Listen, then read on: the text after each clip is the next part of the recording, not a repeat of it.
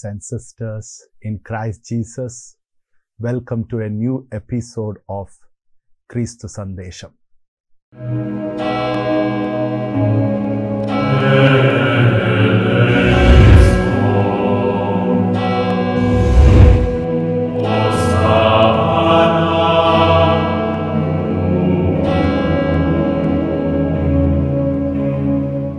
Word of God says in Psalm 119 verses 130 the unfolding of your words gives light. It imparts understanding to the simple. The word of god that jesus gives us it gives light to our life and it gives understanding to the simple and humble people so today when we are listening to this message of Christ, let us all ask Jesus, Jesus, shed the light of your word into every darkness of my life.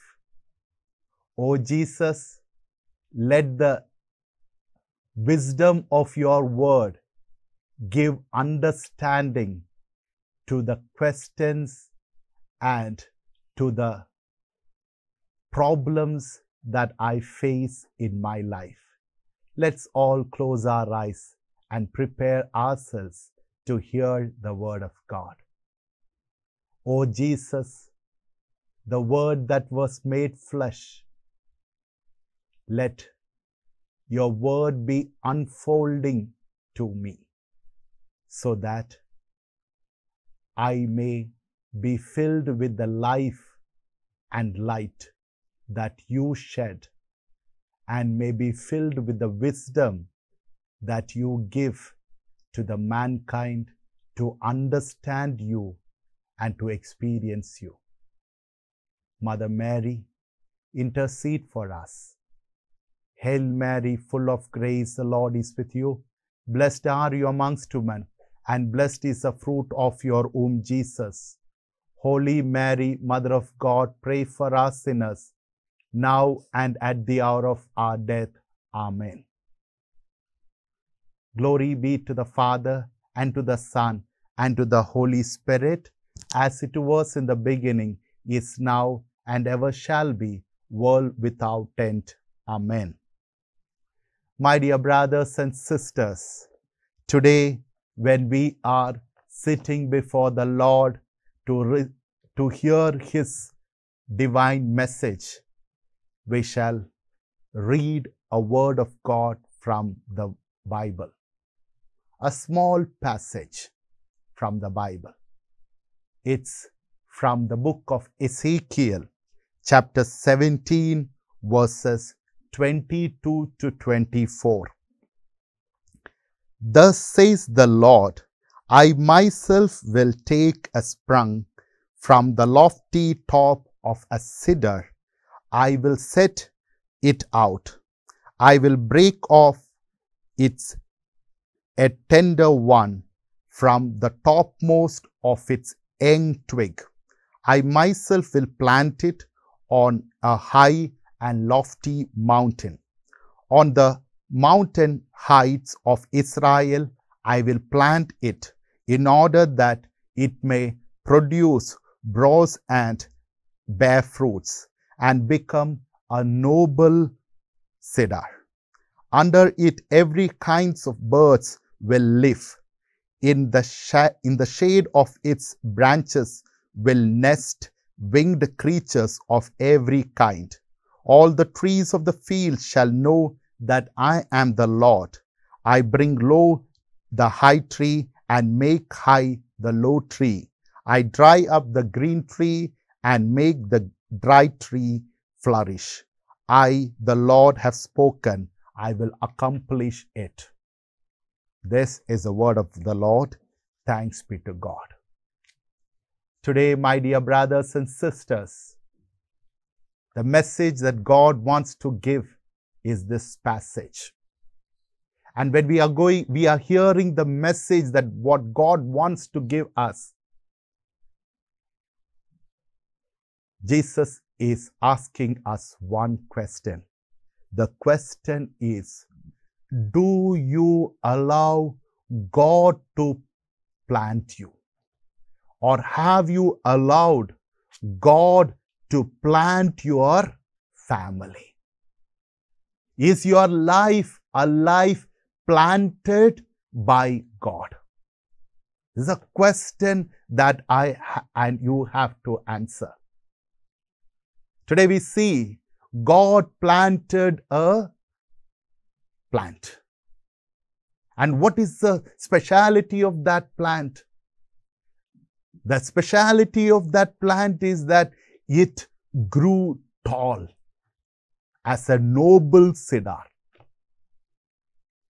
Second, it bore fruits that taste good for people.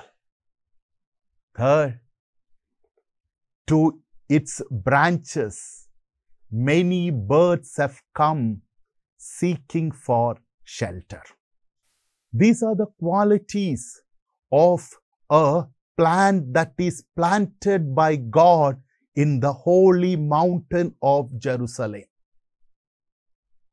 But today, are you planted by God? Is your family being allowed by you to be planted by God? Ritually, as a Christian, as a Catholic, ritually and publicly, you might have started your Christian life being planted by God. That is through the sacrament of baptism. I begin and we begin our Christian life where we are planted by God through the sacrament of baptism. As Catholic and Christians, our family ritually, our families are being planted by God because a family begins through the sacrament of matrimony, marriage. Through the sacrament of marriage, you say ritually that I, my family is being planted by God. But in actuality, the question is that in actuality, have you really allowed Jesus to plant you in the holy mountain? Have you really allowed your family to be planted by God?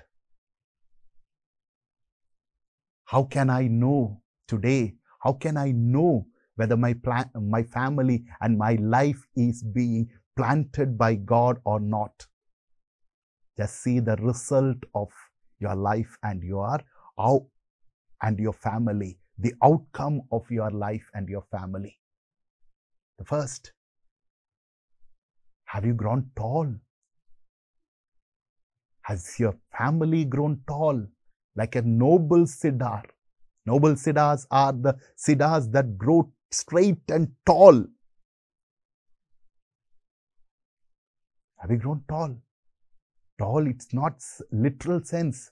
Tall in your spirituality. In other words, spiritual fathers would say like this, have you grown tall to be as an exemplary Christian? Do your life be a life that leads an exemplary Christian life? As you lead your family life, are you leading a family life in an exemplary way which God wants you to live? As a husband, are you an exemplary husband? As a wife, are you an exemplary wife? As a child, are you an exemplary child? As, as a mother, father, are you leading an exemplary life? Or are you becoming a stumbling block, giving wrong examples to others? Leading a life contrary to the life you are supposed to live. Are you contradicting your actions with the values of Christian life, gospel life? The question. Examine yourselves, my dears. Examine.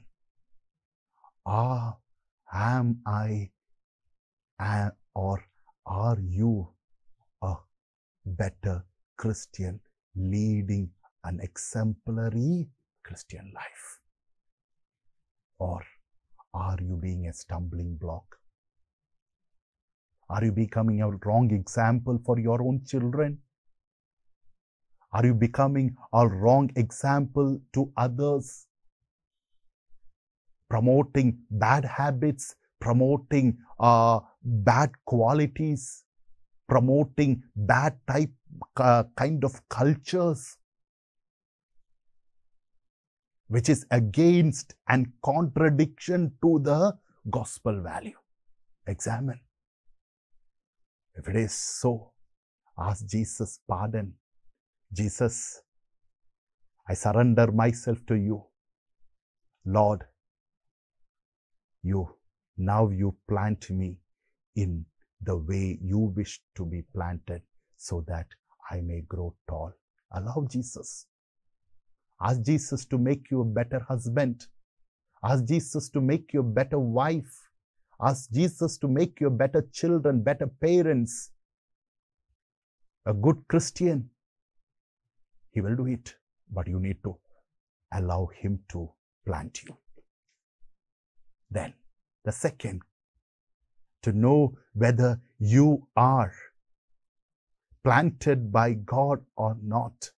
The second thing that you need to examine is that do you bear fruits?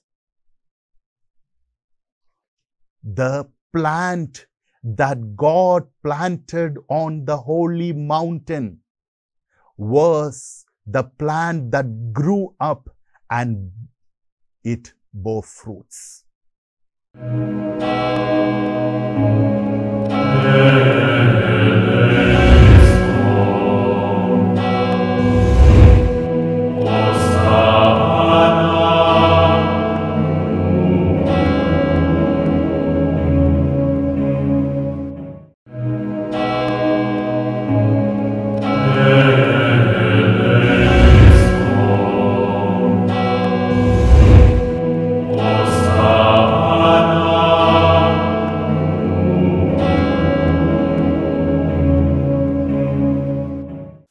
Today, are you bearing fruits? Are the fruits of the Holy Spirit being produced from you? Are, are people able to taste the fruits of the Holy Spirit from your life? What are the fruits of the Holy Spirit? We read in Galatians chapter 5, verses 22 onwards, we read like this The fruits of the Holy Spirit are love, joy, peace, patience, kindness, generosity, faithfulness, gentleness, and self control. Do we have these qualities? Do you have love in you? Or are you treasuring hatred in your life? Do you show kindness to others? Or are you a selfish person? Do you have, do you keep mortification and self-control or control your, uh, your senses? Or do you live a reckless life, a fruitless life? Is a question. Are you leading like that? If you lead like that, ask Jesus, Jesus, I'm producing rotten fruits. The fruits that you expect from me is not being borne by me. There's no love in me. There's no kindness in me. There is no patience in me. I get angry. I have no self control. I do things according to my inst- instincts. Just pray to God. Is there? Ask Him, Jesus, sorry for not allowing you to plant me. But now I understand. I ask you to plant me in the way you wish so that I may bear good fruits. This is the second one. If you want to be planted by God, if you are planted by God, you will bear, bear fruits. If not, you will bear rotten fruits. The third thing to be to examine whether to know whether you are planted by God or not is that the plants and trees that are planted by God, what happens? Many birds come to it to find shelter. Today, do people come to find shelter under you, comfort under you? Is your family being planted by God? It is planted by God, everybody will come together. Everybody will be together. Everybody will come, like to come to the home to seek shelter. If not, nobody likes to come. If you're not planted by God, if your family is not planted by God, you can know it very simply. Very simple way of knowing it is that whether the members of your family love to be in the house or outside. Today, the husbands finish the job by five o'clock, but thinks that, oh, should I go home? I shall be late. I'm no, I'm not going to go to that hell. Children, they don't like coming to house early. They, for them, the enjoyment, joy, everything will be outside. For them, for many of the children today, the house is like burial ground, silent like burial ground.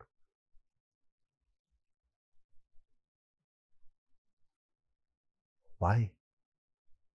One of the reason is that the house and family is not being planted by God. Today, examine your life, my dear brothers and sisters. How are the members of your family? How do people treat you? Do you have friends? Do people come to you for comfort? Or will they be like trying to avoid you? Avoiding you from everything, thinking that you will be a problem? Examine. Examine to yourselves. See, am I being able to accommodate everyone?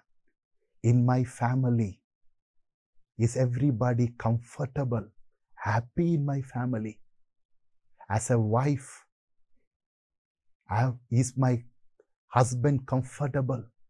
Or because of my complaint and nagging attitude, my husband does my husband wish to be away as a husband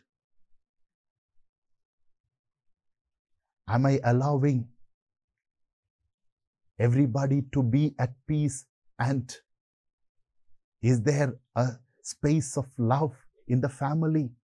Or as a husband, am I trying to show off my authoritativeness? Which scatters the members of the family. Am I being like a responsible parent, responsibly trying to uh, nurture and bring up my children? Or do I do it in a very careless way? In, irresponsible parenting do I do? Just examine. Jesus is asking you if your family is not being planted by God, ask Jesus, Jesus, the birds of the air as it comes to the branches of the tree that plant that you have planted. Let my family also be in one roof, united with love, united in understanding, united in sharing, united in Christ. This is what we have to understand first. Understand that. So, my dear brothers and sisters, examine yourselves. Are you a family that is planted by God? See whether these three qualities are there. If these three qualities are there, your family is planted by God. If not, what are the qualities and changes that I have to bring in my life, in my family to be planted by God. Make that changes. Then the other thing that is very much relevant in the passage that I have read you. What was the twig that God planted in the holy mountain? The twig that God planted was the tender twig.